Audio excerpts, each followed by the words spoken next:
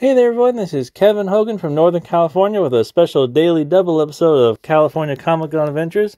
On April the 10th, we went to two Comic Cons the same day. First, we went to Contra Costa Con's third annual event there at beautiful Hilton Concord near the airport there in Concord.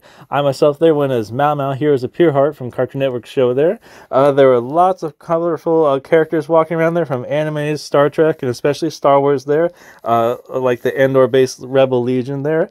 Um, there are also some Star Wars celebrities there, like C. Andrew Nelson was a special guest there. He was Darth Vader in the special edition Star Wars movies. Also, Alan Fernandes, you may remember he was the one of the first Tusken Raiders there in the original Star Wars Episode 4 movie, riding the Bantha, which was a real elephant from the local uh, Six Flags Marine World Zoo up here in Northern California.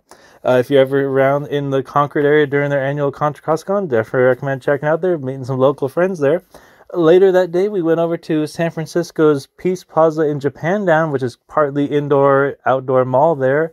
Um, they have an annual Cherry Blossom Festival, and they had a special cosplay event there.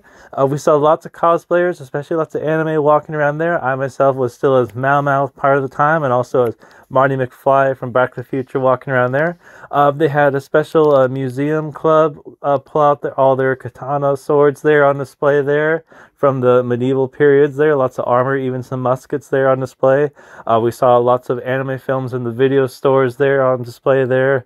Lots of exotic foods there and other art and crafts there. The artist gallery there. Uh, we saw lots of local friends there. It was very cool. If you're ever in the area, it's definitely a great time there. Lots of streets blocked off to walk around there.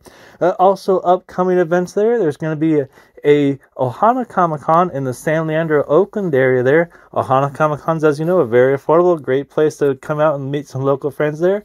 Also on May the 4th is going to be a lightsaber event up in Sacramento. So bring on your lightsaber there and coming out and battle your best friends out there. Well, I hope you guys enjoy the pics and we'll see you out there at your next Comic Con there. Have a great day.